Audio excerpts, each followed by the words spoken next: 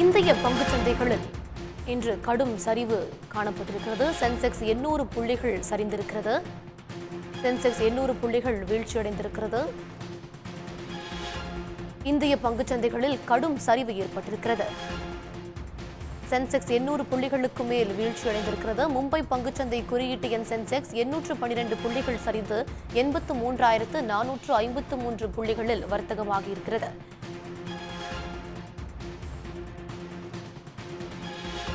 மும்பை பங்குச்சந்தை குறியீட்டு எண் சென்செக்ஸ் எண்ணூற்று பனிரெண்டு புள்ளிகள் சரிந்திருக்கிறது. எண்ணூற்று பனிரெண்டு புள்ளிகள் சரிந்து எண்பத்து மூன்றாயிரம் புள்ளிகளுக்கு இன்று வர்த்தகமாகிறது.